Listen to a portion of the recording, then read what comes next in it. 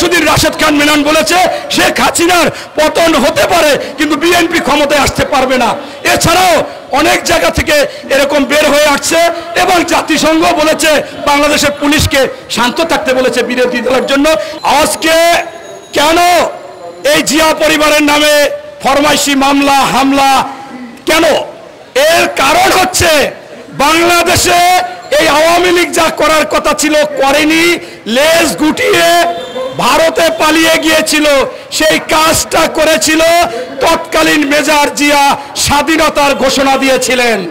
শুধু স্বাধীনতার ঘোষণা না, রণাঙ্গনে থেকে ভারতে একদিনের জন্য না গিয়ে বাংলাদেশে থেকে রণাঙ্গনে থেকে যুদ্ধ করেছিলেন, সেক্টর কমান্ডার ছিলেন, তার অক্ষর দিয়ে জেট ফোর্স অধিনায়ক ছিলেন এবং যুদ্ধের পর আবার ব্যারাকে ফিরে গিয়েছিলেন তৎকালীন প্রেসিডেন্ট শেখ মুজিবুর রহমান জীবিত মুক্তিযোদ্ধাদের মধ্যে সর্বোচ্চ খেতাব, বীর উত্তম খেতাব তাকে দিয়েছিলেন। পরবর্তীতে সাতই নভেম্বর সার্বভৌমত্ব যখন বিনষ্ট হবে, যখন দেশে অরাজকতা সৃষ্টি হবে, তখন সিপাহী জনতার অনুরোধে যখন সেই মোশারেফ যে আপনার তাকে গ্রেপ্তার করেছিল বা আটক করেছিল, তৎকালীন সেখান থেকেও তাকে নিয়ে এসে একটা বাংলাদেশের সফলতায় নিয়ে এসেছিল। এটাই হচ্ছে জিয়া পরিবারের অপরাধ।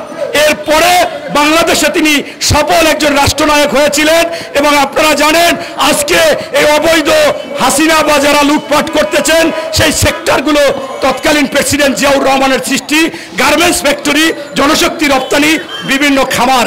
এরপরেও জানেন, আন্তর্জাতিকভাবে ইরাক ইরান যুদ্ধ তিনি সমাপ্ত করেছিলেন এবং মীমাংসা করেছিলেন। পরবর্তীতে আরও অনেক আন্তর্জাতিক ভূমিকা পালন করেছিলেন। এরপরে খালেদা জিয়ার সাথে কেন শত্রুতা? একানব্বই সালে এই শেখ হাসিনা বলেছিল, বাংলাদেশে দশটা আসনও বিএনপি পাবে না। উনি নির্বাচনে সাহস করে তিনটি আসনে দাঁড়ালেন। আর আমার নেত্রী বেগম খালেদা জিয়া পাঁচটি আসনে দাঁড়ালেন। সেখানে এই শেখ হাসিনা টেনে টোনে একটা আসনে জয়লাভ করলেন আর দুইটা আসনে গোহারা হারলেন। একটা হচ্ছে সাদেক হোসেন খোকার সাথে, আর একটা মেজর মান্নানের সাথে। আর আমার নেত্রী বিপুল ভোটে পাঁচটি আসনে বিভিন্ন বিভাগ থেকে জয়লাভ করলেন। শেখ হাসিনা দেখে, আহা, জনগণ এত কেন জিয়াকে খালদা জিয়াকে ভালোবাসে? তাই তার গাত্রদাহ। তাছাড়া বাংলাদেশের প্রথম প্রধানমন্ত্রী হলেন বেগম খালেদা জিয়া। বাংলাদেশের প্রথম মহিলা মুক্তিযোদ্ধা হলেন খালেদা জিয়া। এবং বাংলাদেশে মুক্তিযোদ্ধা মন্ত্রণালয় সৃষ্টি করলেন খালেদা জিয়া। মুক্তিযোদ্ধাদের ভাতা প্রদান করলেন খালেদা জিয়া। এই জন্য খালেদা জিয়াকে আর পছন্দ করা যায় না।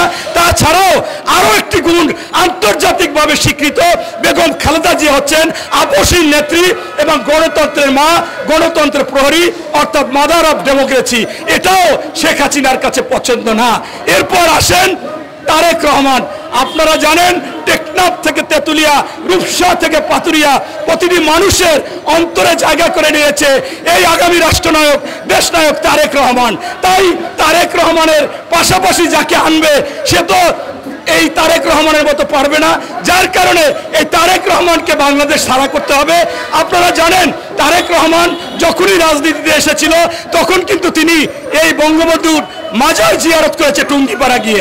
এমনকি আপনারা জানেন যে এই জয়কেও বলেছে, আসুন রাজনীতি করুন। তাই এই তারেক রহমানকে যে বিচারক মোতাহার সাহেব বেকচুর খালাস দিল, তিনি বাংলাদেশ ছাড়া হলেন এবং তারেক রহমানকে নিয়ে সেই খালাস মামলায় তাকে অনেক সাজা দেওয়া হলো উচ্চ আদালতে। পৃথিবীতে বিরল নিম্ন আদালতে যে সাজা দেওয়া হয়, সেই সাজা কখনো উচ্চ আদালতে বাড়ে না। অথচ বেকচুর খালাস সেখানে দিলেন, বেগম খালেদা জিয়াকে ফরমাইশি রায় দিলেন। তাই আমি বলতে চাচ্ছি, আজকে এই সরকারের পতন সুনিশ্চিত এবং পতন হবেই ইনশাল্লাহ এটা আপনারা দেখেছেন, পরশুদিন রাশেদ খান মেনন বলেছে, শেখ হাসিনার পতন হতে পারে, কিন্তু বিএনপি ক্ষমতায় আসতে পারবে না। এছাড়াও অনেক জায়গা থেকে এরকম বের হয়ে আসছে এবং জাতিসংঘ বলেছে বাংলাদেশের পুলিশকে শান্ত থাকতে বলেছে বিরোধী দলের জন্য। এবং আমি আশা রাখি ছোট্ট একটি বাংলাদেশ, আমাদের ভাই ব্রাদার, আমাদের আত্মীয় স্বজন, পুলিশ, প্রশাসন, তারা শান্ত থাকবে, শেখ হাসিনার পতন হবে একদম আন্দোলনেই শেখ হাসিনার পতন হবে এবং বাংলাদেশে মানুষের ভোট অধিকার অধিকার, গণতন্ত্র, সুশাসন, সুনীতি ফিরে আসবে। আল্লাহ হাফেজ, বাংলাদেশ জিন্দাবাদ। শহীদ জিয়া, অমর হোক, বেগম খালদা জিয়া, জিন্দাবাদ। আগামী রাষ্ট্রনায়ক, দেশনায়ক তারেক রহমান, জিন্দাবাদ জিন্দাবাদ। একের পর এক ষড়যন্ত্রমূলক মামলা এবং রায়ের মধ্য দিয়ে এই দেশের মানুষকে যতবার বোঝাতে চেয়েছে, তাদেরকে জনগণের প্রতিপক্ষ বানানোর চেষ্টা করেছে। ততবারই আওয়ামী লীগ এবং শেখ হাসিনা বাংলাদেশের মানুষের কাছে ধিকৃত শত্রুতে পরিণত হয়েছে। সংগ্রামী বন্ধুগণ, তারেক রহমানকে তারা ভয় পায়, শহীদ প্রেসিডেন্ট জিয়াউর রহমানকে ভয় পায়, বেগম খালেদা জিয়াকে ভয় পায় তাদের রাজনৈতিক ক্যারিয়ারের কারণে, তাদের রাজনৈতিক দর্শনের কারণে। তারা চেয়েছে শহীদ প্রেসিডেন্ট জিয়াউর রহমানের উত্তরসূরি এবং তার রাজনৈতিক দর্শনকে ধ্বংস করতে। কিন্তু গত পনেরো বছরে তাদের এই ব্যর্থ চেষ্টা এবং বাংলাদেশের চলমান যে গণতান্ত্রিক আন্দোলন, বাংলাদেশের নিয়মতান্ত্রিক আন্দোলনের যে ইতিহাস, জনাব তারেক রহমান তৈরি করেছেন, তারা এখন বুঝতে পেরেছে যে এই আন্দোলনের রসাল থেকে, জনগণের রসনাল থেকে এই সরকার কোনো অবস্থায় বের হতে পারবে না। সংগ্রামী বন্ধুগণ, তারেক রহমান, খালেদা জিয়াকে মিথ্যা মামলা দিয়ে, মিথ্যা সাজা দিয়ে তাদের কিন্তু ভয় চলে যায়নি। তারা মনে করেছে, সংকটকালে যদি আমাদের ভারপ্রাপ্ত চেয়ারম্যানের সহধর্মিনী, যিনি বাংলাদেশের পরিচ্ছন্ন ইমেজ দ্বারা প্রতিষ্ঠিত দেশের বিশিষ্ট চিকিৎসক, ডাক্তার জুবাদার রহমান যদি কখনো কোনোভাবে হাল ধরতে দেশে চলে আসেন, তাহলে ওদের সমস্ত পরিকল্পনা বেচতে যাবে। সেই কারণেই ডাক্তার জুবাদার রহমানকে তারা জোর করে মিথ্যা, পাতানো, সাজানো মামলা দিয়ে ডাক্তার জোবায়দুর রহমানের ইমেজকে ক্ষুণ্ণ করার চেষ্টা চালিয়েছে। সংগ্রামী বন্ধুগণ, আমি শুধু বলতে চাই, ডাক্তার জুবাইদার রহমানের দুই কোটি টাকার যে হিসাবে তাকে আজকে মামলা দেওয়া হয়েছে। এই দুই কোটি টাকা তার আম্মা তাকে দান করেছেন এবং দান করার যে সমস্ত তথ্য, প্রমাণ, সেগুলো আদালতে দায়ের করার পরে তার আম্মা কিন্তু বেকসুর খালাস পেয়েছেন। যিনি দান করলেন, তিনি বেকসুর খালাস পেলেন, আর যাকে দান করলেন, তাকে আপনারা তিন বছরের সাজা দিলেন। এই অন্যায়, এই জুলুম এই প্রহসন এই মিথ্যাচারের বিচার বাংলাদেশের মানুষ অবশ্যই একদিন করবে। সংগ্রামী বন্ধুগণ, আমি শুধু বলতে চাই, এই সমস্ত মিথ্যা, সাজানো, পাতানো মামলা দিয়ে বাংলাদেশের জনগণকে অতীত দাবিয়ে রাখা যায়নি। শেখ হাসিনা, আপনার বাবাও কিন্তু একসময় গণতন্ত্রের পক্ষে লড়াই করতে গিয়ে জেল খেটেছেন, মামলা খেয়েছেন, তাকেও কিন্তু সেই মামলা থেকে দাবিয়ে রাখা যায়নি।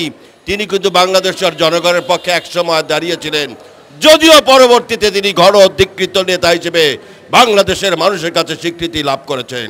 সংগ্রামী বন্ধুগণ, আমি বলতে চাই, এই হামলা, মামলা, নির্যাতন সব কিছু বেচতে চলে যাবে যদি দেশনায়ক জনাব তারেক রহমানের নেতৃত্বে যে এই আন্দোলন চলছে। এই আন্দোলনে যদি আমরা সকল ভেদাভেদ ভুলে যাই, এই আন্দোলনে কে কার ভাই, কে কোন কেন্দ্রের কর্মী সেগুলো ভুলে গিয়ে যদি জাতীয়তাবাদী দলের নেতাকর্মী হিসেবে, গণতন্ত্রের পক্ষে শক্তি, জাতীয়তাবাদী দর্শনের কর্মী হিসেবে যদি হাতে হাত মিলিয়ে, কাঁধে কাঁধ মিলিয়ে এই চলমান গণতান্ত্রিক আন্দোলনকে আমরা যদি সফল করতে পারি, তাহলে এই সফল সকল ষড়যন্ত্র বেচতে যাবে। দেশনেত্রী বেগম খালেদা জিয়া মুক্তি পাবেন। জনাব তারেক রহমান এই দেশের মাটিতে আসবেন। জনাব জোবাদার রহমান এই দেশের মাটিতে আসবেন। আসুন, আমরা সকলে মিলে এই চলমান গণতান্ত্রিক আন্দোলন সফল করার মধ্য দিয়ে এই দেশের লক্ষ লক্ষ মানুষের যে রক্ত, সেই রক্তের প্রতিশোধ গ্রহণ করি।